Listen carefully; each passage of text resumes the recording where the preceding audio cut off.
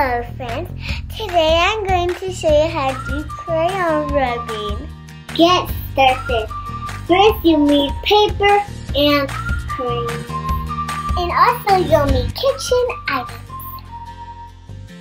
With texture.